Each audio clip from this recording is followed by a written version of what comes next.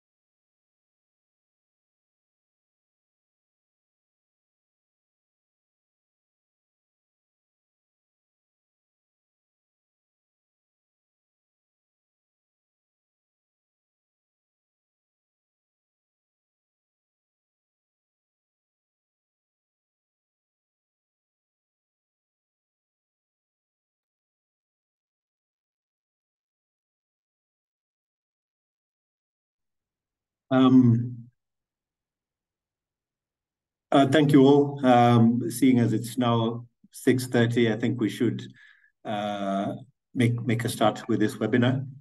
Um, in the interest of time, uh, I think we just start off with some quick introductions. My name is uh, Mordecai Ting. I'm one of the orthopedic consultants working at Aga Khan, moderating this session. Um, this is uh, a session that we're going to be looking at uh, trauma in the knee uh, and some aspects of management, uh, mainly angled towards the residents, but of course, uh, in the interest of continuous learning, we're all going to pick something up from this. Um, uh, I'd like to just extend gratitude to KOA for all these ongoing webinars they have on uh, various topics, allowing us to keep our education up to date. And uh, particularly want to also thank uh, Sun Pharma in this uh, instance for being a sponsor. Now, our speaker for the day will be taking us through uh, assessment and management of common knee conditions is uh, Mr. Baraza. Mr. Baraza is a friend and colleague who work together at Aga Khan University Hospital. he's a fellowship trained uh, surgeon in uh, both sports injuries and pediatric uh, orthopedics. And he'll be taking us through this knee session and giving us perspectives from both worlds, including the adult, the adult knee. Um, I think without further ado, I'll hand over to Mr. Baraza. Uh, thank you. Thank you very much, Mr. Tsinger, for the introduction. I'll share my screen. Is it visible to all? Yes, we can see it. Yeah, we're seeing that.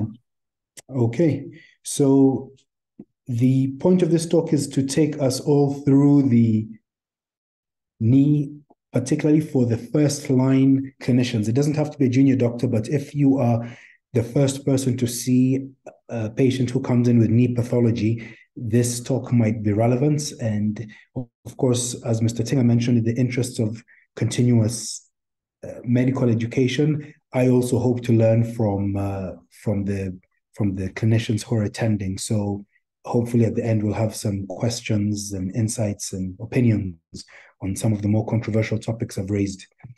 Uh, so the first thing is to know all the common conditions. I like to stratify it according to age. So in children, they're more likely to get septic joints because of the arrangement of the blood vessels around the metaphysis or transient synovitis after a an illness such as a flu, patellar instability in the slightly older child, as well as a discoid meniscus, which usually presents as a knee which uh, has mechanical symptoms in a young child between the ages of four and eight. In the teenager, it's more ligamentous and sports injuries, including osteochondral lesions. And in the adults, chondromalacia patella and degenerative changes tend to predominate.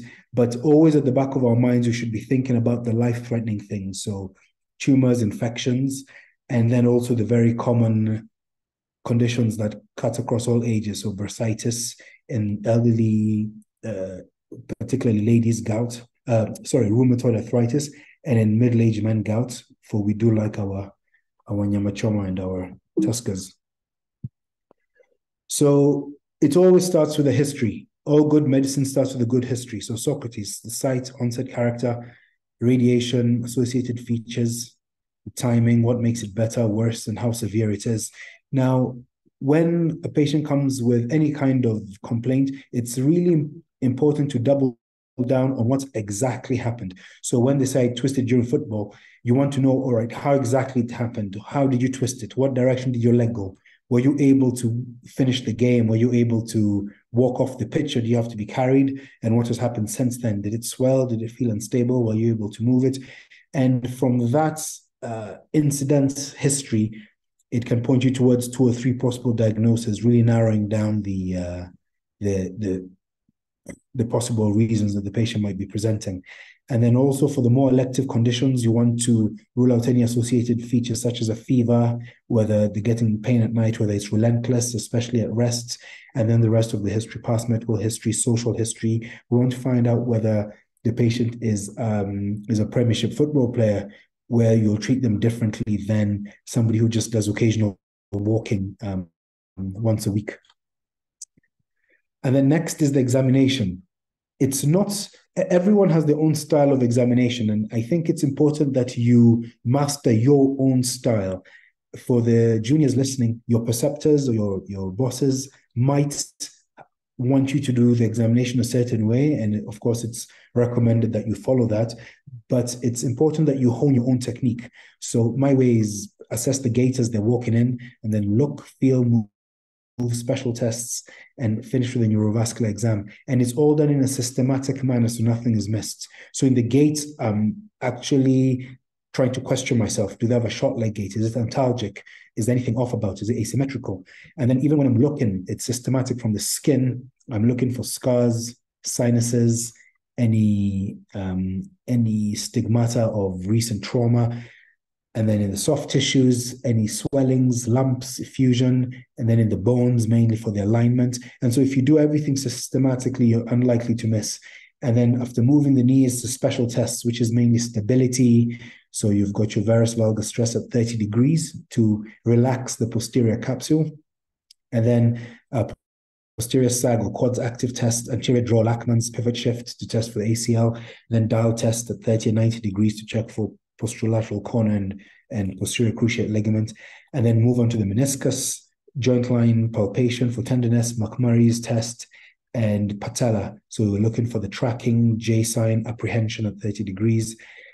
And um, at this point, I should say that if the patient comes in with a hot knee, so that's a knee that is being acutely injured, so you're seeing it for the first time hours or maybe a day or two after injury, it's almost impossible to do this comprehensive exam. So what I do, and I think many other surgeons would agree with me, is that you rule out the um, you rule out the important that, that you rule out a fracture. If you rule out a fracture, you then you can then relax because the rest of the things can be dealt with electively. So X-ray to rule out a fracture, and thereafter it's the usual it's the usual treatment. I think I have it in a subsequent slide. Oh yeah, so after the examination, I'm getting a bit ahead of myself. We move on to investigations. We have a plethora of investigations available to us, and it's important that we um, that we use them ju judiciously because they are they are or they can be expensive. So we want to make sure that we apply them appropriately. So uh, I hope we're all horrified at the arthrocentesis technique being employed at the bottom right screen. I, I don't think that's how uh, that's how we we uh, aspirate joints in Kenya. But uh, there we go. It's for representational purposes only. so moving on to uh, trauma. So like I was saying, in the patient who's injured the knee, we need to uh, we need an X-ray to rule out a fracture. Once we've done that, it's the usual rest, ice compression, elevation, lots of analgesia, crutches, offer them a brace, bring them to clinic. Now, it's seeing a patient a day or two after the injury is to in, in my practice not as beneficial as seeing them two or three weeks after because the knee is still very swollen, very tender. You can't elicit any signs, and it's quite often a, a wasted uh, a wasted appointment. It's much better if the initial clinician uh, does the basics right, so rules out the fracture, and if there's no if there is a fracture and it's displaced, of course, you know, talk to your local orthopedic surgeon as to whether or not it needs uh, surgical management. But if it's not a fracture, then the below will help. And thereafter, it's good to see the patient after about 10 days to two weeks so that you can actually examine and determine what the best mode of investigation is. It's very easy to convince a patient who has a severely injured knee to have any one of those investigations, as I showed in the previous slide, but it's not always the best practice. Sometimes it's best to give them painkillers, assess them, and then determine what needs to be done next. Most of the time, and probably over 70% of the time, the knee is calmer. You don't need any expensive investigations. Now, I'll just go through some of the ligamentous injuries because uh, you know I do a bit of sports and it's it's fun. The MCL is the most commonly injured ligament in the knee. In the early grades, it's treated by a um, a brace.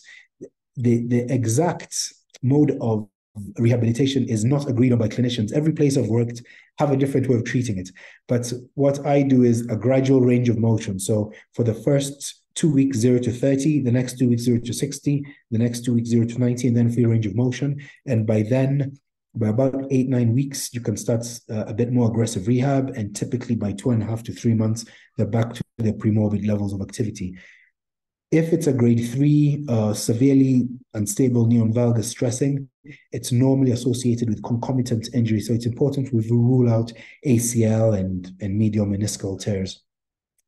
The ACL, another very commonly injured ligament, is uh, often seen in pivoting sports. So in football, basketball, rugby. And it's interesting because the textbooks say it stops anterior translation of the tibia, and I don't think there's any controversy about that.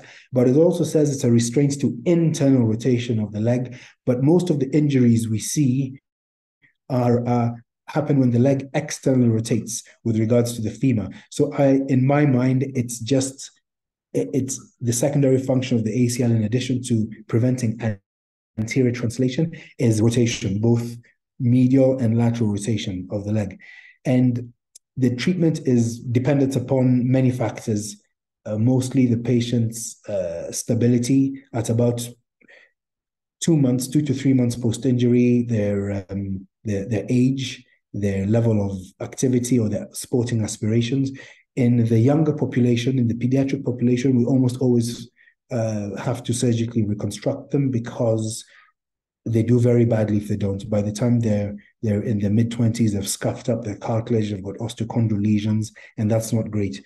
In the middle-aged patient, in, in, the professional sporting patients, of course, again, that's that's uh, we almost always reconstruct them. But in the middle-aged elderly patients, you can have a discussion because if they're willing to give up pivoting sports and they've done enough to build up their thigh musculature, particularly the hamstrings, which assist in stability of the knee, then you do not always need to surgically reconstruct it, but they do need to um, to engage in a rehabilitation closed chain exercise protocol.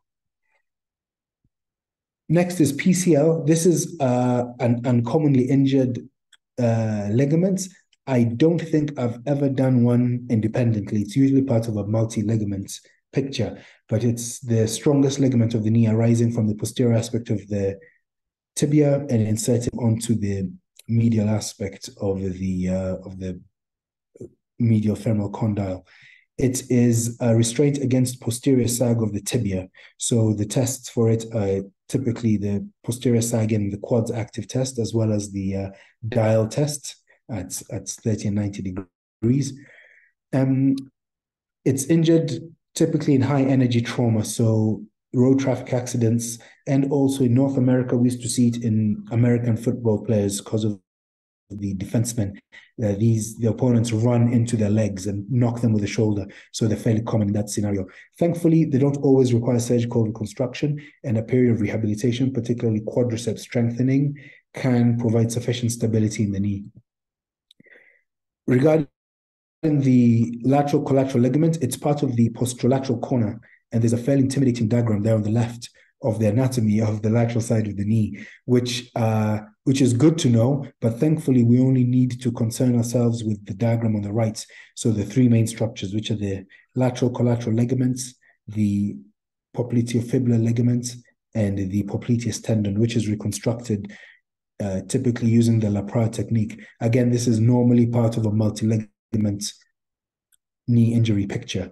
The uh, there's another technique called the Larson where you reconstruct two of the ligaments. You reconstruct the fibula collateral as well as the popliteal fibula, but not the um, not the popliteus tendon. So in the pediatric knee, important thing is to rule out infection. of course, after trauma, uh, rule out infection. Typically, it will be heralded by a previous infection such as respiratory or gastrointestinal. So ask for that in the history. And uh, and any, I'm just trying to move my second. The patient has pyrexia. Please do take a full history. Make sure the observations are taken. And in a patient with uh, knee injury or, or knee pain, in a child with knee pain, always assume it's coming from the hips unless unless proven otherwise. So always get a hip examination and at the slightest suspicion, uh, pelvic x-ray. You'll be amazed at some of the things you'll find. I think it's referred down to the knee because of the paths of the obturator and the um, and the femoral nerves. But it's interesting because uh, the, the same nerves are present in adults, yet you don't get the you don't get the same pattern of uh, referred pain, which is a it's a bit of a mystery. And then once you've ruled out the important things, you can refer to clinic. In the case of infection, of course, they need a washout. The sooner the better, because the uh, proteolytic enzymes produced by the bacteria can uh, can destroy cartilage, which in a child is a bit of a disaster. It can also endanger the life of the child in severe cases. So pat patella instability, typically seen in females, young females, in, on examination, be careful doing the patella apprehension test. You don't want to cause the patient pain, but you want to just test and see whether they feel a little bit worried when you move the patella laterally. Also, there might be J tracking, which is due to uh, uh, it's due to a an even pull of the quad. So the vastus lateralis is moving the knee a little bit more than the vastus medialis obliquus, which is a smaller muscle. So on the extreme of extension, the patella seems to sublux laterally. It is uh, often seen in the picture of generalized ligamentous laxity, so a Beighton score would be handy. And the patients that typically have genu valgum, so an increased Q angle or a differential line of anatomical pull and um, pull of the patella tendon, which lends itself to a lateral producing vector, which would make the patella want to sublux also a history of uh, subluxation of the patella would would lead you to this diagnosis and most of the time it is physiotherapy lots of vmo strengthening exercises and if that doesn't work then depending on the mri parameters they may require tibial tubercle transfer such as a Fulkerson osteotomy and uh, it's often done together with a medial patellofemoral ligament reconstruction which is done not to hold it in place, but just as a check rein. So it's it's done loose intraoperatively, but the minute the patella starts to sublux on the lateral side, it should be sufficiently tight to prevent it. Uh, the teenage knee, these are just some of the conditions. Uh, Osgood Schlatters or tibial tubercle traction apophysitis, very common in the sporty children. Uh, bursitis is common. Uh, osteochondral lesions are, and this is just a diagram of one of the techniques an OATS technique.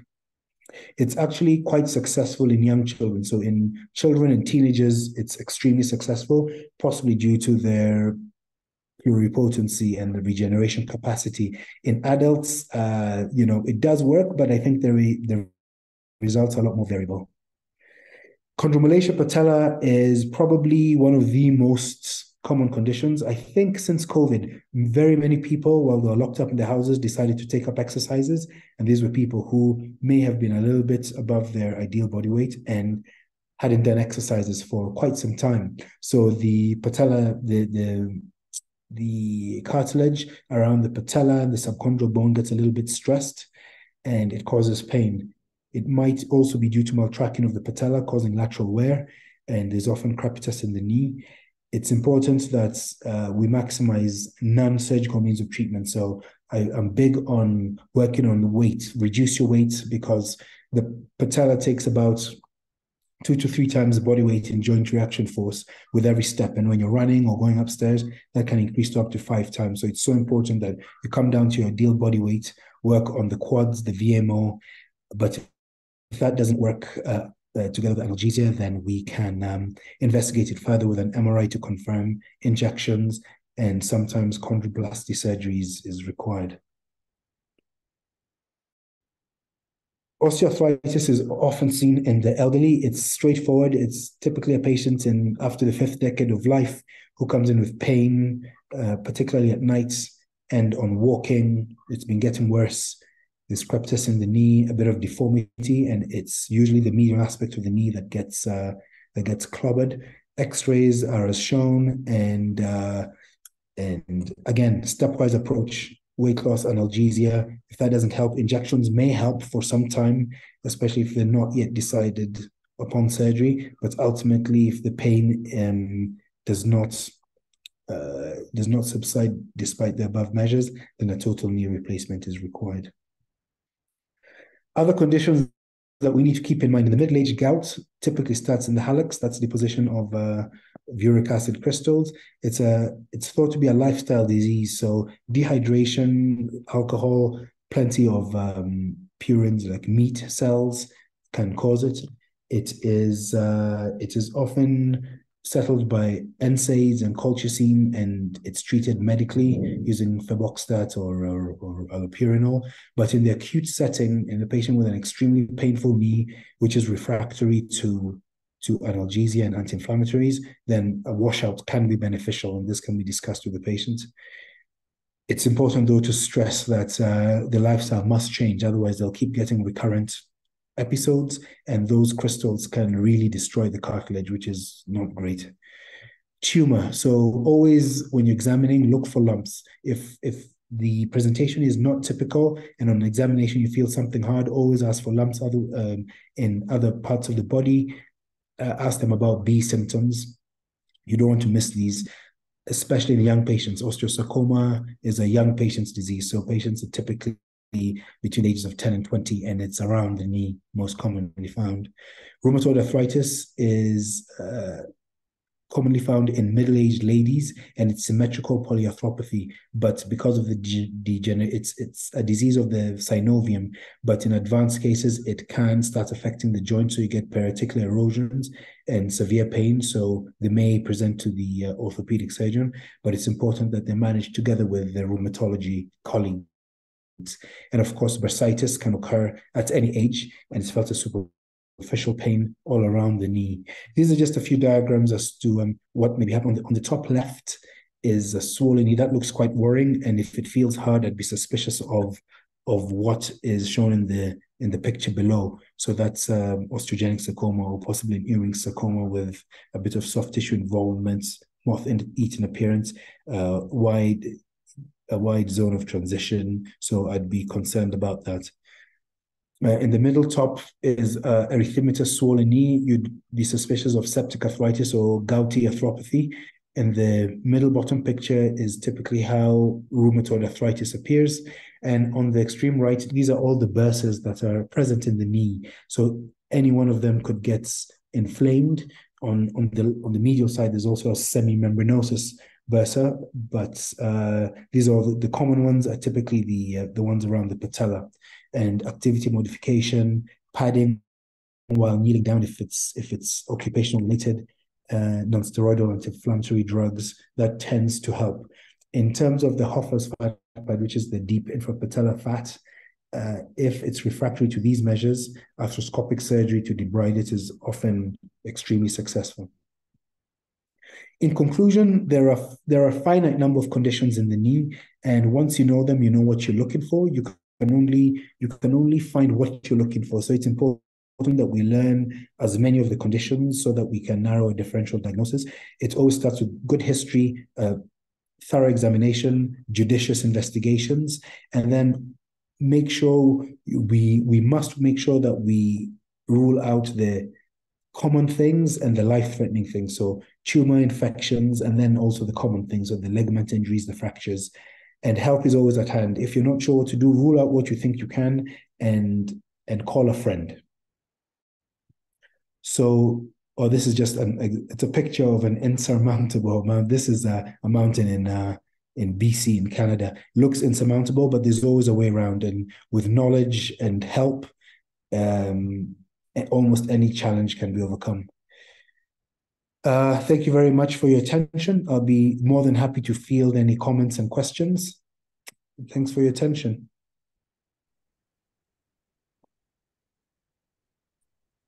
Um, thank you very much, uh, Mr. Baraza. That was a fantastic talk, given the amount of time you had.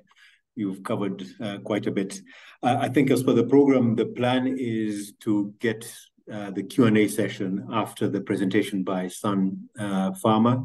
Um, so for anyone uh, listening, you can either uh, send your question via the chat or uh, wait until we're having the Q&A session afterwards, and then we'll go through everything. Um, at this point, I'd like to welcome Stephen Betty, the product manager at Sun Pharma, to just uh, take us through their products and uh, what they're doing uh, both in the country and continent. thank you. Yes, thank you so much, Dr. Tinga. And I really want to appreciate Dr. Baraza for the good talk he has given and KOA for accepting us to partner with them in this activity. So I'm going to take through you a short presentation about our company and some of the products we have for your use. And uh, then we shall be able to get to the Q&A. So as Dr. Uh, Atinga mentioned, my name is Stephen Bidi. I work in marketing. And looking at Sun Pharma at a glance, uh, I'm sure some of you are familiar with our company, but to them who are not familiar, uh, Sun Pharma is one of the largest generics company in the world. We actually the fourth largest global generic company, uh, which tells you about the stature and the size of the company uh, that we have. And uh, we are ranked 11th in the US market, uh, which is critical because the Americans are known to be very rigorous in their quality standards and uh, that speaks to the quality of the products we bring to the country and the quality of the products that patients eventually get to uh, use for their many indications. Uh, our home office is India. That is where the company was founded. And out of the 40,000 companies uh, registered in India, Sun Pharma is proud to be the biggest. And just to contrast that, uh, in Kenya, we have about uh, 1,000 to 1,500 pharma companies registered, but in India we have about 40,000, out of which Sun Pharma stands tall as the best and the biggest amongst them. Uh, when you look at uh, the expanding presence of Sun Pharma in the rest of the world, uh, it tells you that the company is uh, very interested in bringing quality products to our patients uh, right to our doorsteps. Uh, as you can see, we have about 43 manufacturing sites across the world, and we're present in more than 100 countries with uh, about 36,000 global employee base.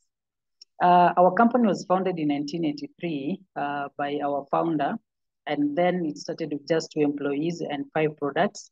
But as you can see from the journey on the slide, we have made strides and big steps along the way, including major acquisitions, in, uh, keynotes um, being uh, Ranbaxy locally. And uh, we have also acquired other entities in other parts of the world, which has made us to become what we are. Um, Sun is also expanding very rapidly in the emerging markets, and the emerging markets here will refer to the markets outside of the traditional uh, big markets, that is America, Europe, and uh, India. And these will include other countries such as uh, South Sahara Africa, um, South America, and other parts of uh, Southeast Asia and Eastern Europe. And uh, in those countries, we are proud to have a strong presence. We have about 2,300 representatives. And we also have uh, some manufacturing sites across those countries, including uh, Nigeria and South Africa for, for Africa. So uh, coming to Kenya, we've been in Kenya since 1993. So we recently celebrated uh, 30 years uh, of being present in Kenya. And uh, we have continued to grow and uh, to make uh, great strides in this country by availing products that your patients would use. I'm sure some of you have, or rather most of you have come across some of the brands we have. So for tonight, I just want to focus on uh, a few brands that are relevant to your practice. And one of them is uh, which is uh, our Etoricoxib. So I'm sure you're all familiar with the molecular toxin, so I won't go into it. But I just, I just want to mention that uh, for any patient uh, where you need to manage uh, the pain with an etocoxib, then uh, I think the first brand that should come to your mind is uh, Etode because it is designed to outshine. And uh, we, are, we, are, we are proud to say that our brand uh, really outshines other brands. And the reason it's called Etode is because we do know that patients with pain, um, painful conditions, osteoarthritis, gouty arthritis, uh, traumatic injuries like the one uh, Dr. Baraza just mentioned, in the morning they're likely to have uh, some pain. So the reason we call ours uh, Etodes because we want them to rise and shine in the morning so that then they can have a great day. Uh, and that is why we call it the Sunshine Coxib. So our product is uh, uh, very potent in terms of pain management. Uh, we have the three strengths uh, of 60 mg, 90 mg, and 120 mg. And uh, the best, one of the best things about etocoxib as a molecule is the fact that it's, of course, a COX-2 inhibitor, which definitely means a safety profile for your patients and uh, the other benefits that come with uh, being COX selective. Uh, but if you look at the data that we have, actually, we've demonstrated that using etocoxib 60 mg has a comparable efficacy to diclofenac 150 mg. And uh, most important about that is the fact that this will just be a once a day dosage uh, compared to diclofenac, which you'll have to use three times. And we do know definitely in medicine that the higher the pill burden, the lower the compliance, and the poorer the treatment outcomes. So if you want to uh, treat your patients uh, adequately using the lowest uh, dosage that you can in terms of pill burden, then etocoxib will be there uh, to meet that need. Of course, the once a day uh, administration is also very good uh, because of uh, adherence to the patient, like I mentioned. And uh, certainly uh, the victory over the traditional NSAIDs comes in those two aspects, in terms of uh, efficacy, in terms of um, tolerability, because of the gastrointestinal friendly profile of the etocoxib, as well as the once a day dosage. So if you look at uh, Etode in comparison to the traditional NSAIDs like diclofenac, you can see that uh, some of the trials we've done have actually shown faster pain relief in comparison to diclofenac, and uh, certainly uh, against the other coxibs like celecoxib. So if you're looking for efficacy, then uh, look no further. So our Etode comes in uh, three SKUs. We have 60 mg, which is ideal for your patients with osteoarthritis, uh, 90 mg is uh, mostly used for patients with uh, uh rheumatoid arthritis and other types of uh, pain. And uh, the, the 120 mg is usually for your acute pain, such as uh, gouty arthritis and other traumatic pains that the patients might be suffering. And uh, the product comes in a very quality packaging, uh, what we call uh, alu alu packaging, where for those who are not uh, in, in the pharmaceutical sector, it means that the, the, the strip is basically made of aluminum on both sides. So that makes sure that the product is protected from light and sunshine, which preserves the integrity of the API, therefore delivering the best efficacy your, your patient will need. And if you needed any more reason to prescribe Etode, then I just need to remember what I said about Sun Pharma. Uh, given the the, the size uh, of the products we have, the pro product profile we have, and the quality standards we ensure across the world, then you can be sure that this works. The other product I will briefly want to mention is Max Maxgalin, and uh, this is our pregabalin. And I know for most of you, for patients that you treat for back pain, sometimes you'll have neuropathic pain. And uh, pregabalin is exactly what those patients would need. And uh, science has actually shown that sometimes uh, it outdoes the traditional analgesics uh, for pain management of the back, especially where nerve pain is involved. Uh, the next slide actually talks about how uh, Max significantly improves the quality of life. So uh, in the country, we have Maxgalin 75 mg, which is uh, available for your use. So anytime you need a pregabalin, uh, please think about uh, Maxgalin. The last product I just want to mention briefly is Volini. And the reason I say briefly is because this is the household name. I mean, this is the world's number one topical analgesic gel. And if you have not tried it on your patients, uh, please uh, take advantage of, uh, of the fact that we have this product in the market. Uh, this is a product that, that has been in the market for long. And uh, given the efficacy and the price it comes with, uh, I can guarantee you it is the best bet on the table. One of the reasons why you should consider prescribing Volini is because of the quick onset of action, because you're talking about pain relief starting in two minutes. And this is thanks to the nanogel technology that the product is made with, which means that the product uh, quickly dissipates into the skin as soon as you apply it on the surface, uh, ensuring that there's deep penetration and uh, fast action, as well as effective pain relief from pain. Uh, if you compare with our competition out there, I can tell you the others don't have the nanotechnology we have, so which means that you are better off with Volini. The other reason you should prescribe Volini is because of the fact that this is a four-in-one. Uh, this is a one um, arsenal that has four ingredients that are, is going to uh, knock off all the pain. Uh, it's a diclofenac-based gel, which means that uh, it comes with the efficacy of diclofenac, it also has racementhol, which absorbs, uh, helps to be, uh, diclofenac to be absorbed properly and also increases the penetration. Uh, methyl salicylate is there to act as a counter irritant and also to reduce the perception of pain from the brain. It also comes uh, armored and fortified with uh, linseed oil, which is uh, both an anti-inflammatory and also to enhance skin permeation. I did mention the nanogel technology, which ensures that it's quickly absorbed.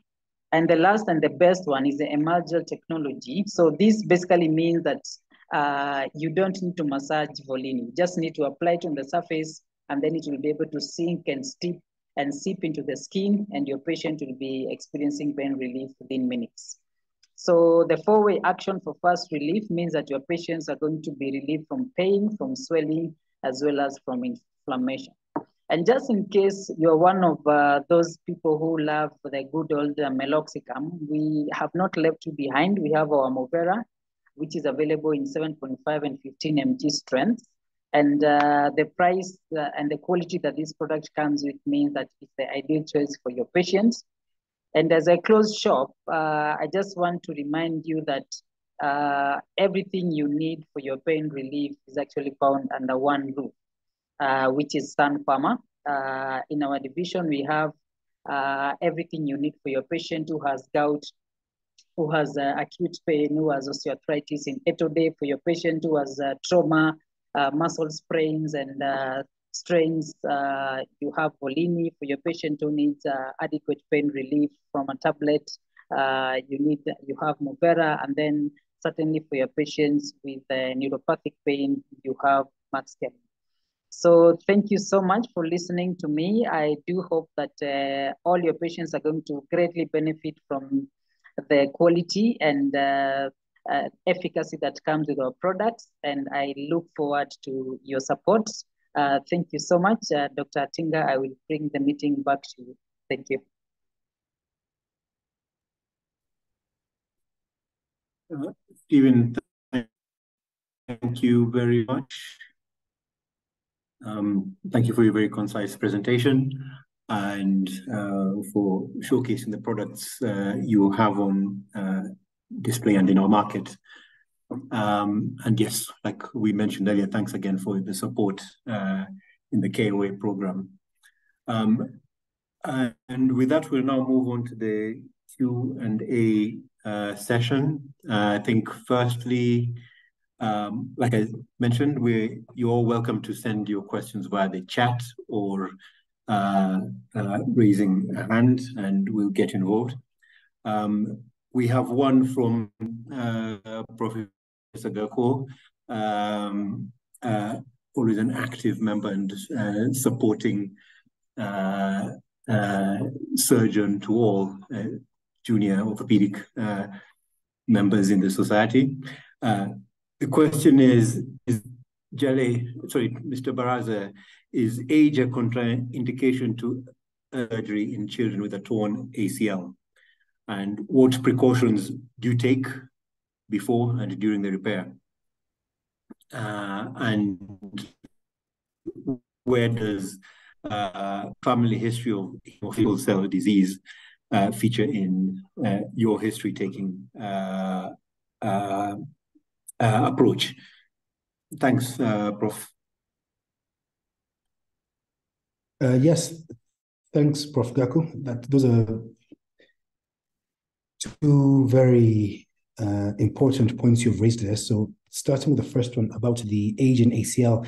No, no, the youngest one we did in uh, in fellowship was seven years old, seven year old ACL, and we reconstructed it uh, using the normal fashion. Of course, the thing that distinguishes children from adults is the fact that they grow. So they've got growth plates there. So you can't use your usual techniques of drilling. You have to get the image intensifier in and make sure that on the femoral side, your tunnel is not breaching the the the distal femoral physis on the lateral side. Because what happens that you'll get a tardy genu valgum. So in fact, after the operation, you follow them up with yearly x-rays to make sure that they're not drifting out into valgus that's the it's it's the younger the child the more technically difficult it is getting that tunnel not to cross the physis but it's uh, once you've done one or two it's not it's not terribly challenging. It you get better at it. Um, the other question was about hemophilia and sickle cell. Uh, absolutely. So hemophilia with bleeding in the knee i have to say that i have not much as I have read about it in the books and it's it's uh, mainly done it in exams, I have not yet, touch wood, had a patient with hemophilia myself and I've not come across it, but it's a very important source of spontaneous bleeding within the knee. I think more commonly what we'll see is sickle cell, particularly in um, people from Western Kenya. The sickle sickle cell disease is is uh, a lot more prevalent here than other places I've worked in. And it's important to realize that because of the, um, the nature of the uh, erythrocytes, the patients can undergo necrosis, not just of the hip, which I think we are aware of, but also of the, the distal femur, the femoral condyle. So absolutely, that's something we should watch out for. I have to say, in uh, I've only read about the osteonecrosis of the knee in uh, sickle cell. I've not come across it. Most of the time, it's it's in the hips, but it's a it's an excellent point in that we need to be aware of the uh, of the different pathologies that present in in diff, in varying geographical locations. Thank you. Uh, so, and just to follow on uh, from that, Mr. Baraza, um, and adding on to Prof. Gaku's uh, point, is is the timing any different to the adult scenario in terms of waiting for the knee to be cool, or can you uh, reconstruct slash repair with reckless abandon uh, in the pediatric population? Um, no, it's so operating in a knee that's full of blood, which is normally what happens in the ACL as the middle geniculate artery is transected. You always risk arthrofibrosis. So, granted, in children, they, they they can overcome the stiffness a lot quicker. But no, usually we wait a few months until the knee is cold and then we do it electively. So it's typically two to three months post injury. And a lot of the time, they don't, uh, it's interesting, they don't present like adults, you know, with a knee swelling injury because they, they injure it, they tell the parents they injured it, they hobble for some time, and then they carry on trying to play. And it's only after repeated uh, subluxations are the investigations done. So usually it's uh, by the time you get to them, it's you know it's about two months post the index, and then by the time they schedule them to the operation, it ends up being about three to four months post, which is ideal. We tell them not to engage in any pivoting sports because the danger, as I mentioned, is that constant subluxation, which scuffs the cartilage. We want to avoid that as much as possible. So you want to get it done as soon as the knee is cold. So wait until the knee is cold, typically six weeks, and then reconstruct it, paying attention to the to the distal femoral physis or growth plate. Thank you very much. Um, do we have any other questions or comments uh, on the talk?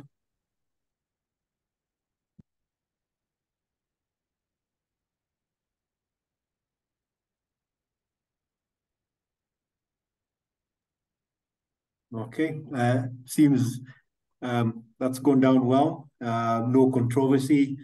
Um, silent green. Um, I'd just like to take this opportunity once again to thank uh, Mr. Baraza for taking the time out to make that presentation, very informative, uh, and also um, to thank our the support from Sun Pharma, and obviously most uh, importantly, uh, the KOA continuing uh, education program. Um, I think we can all be released now, uh, and uh, looking forward to the next session. thank you all very much.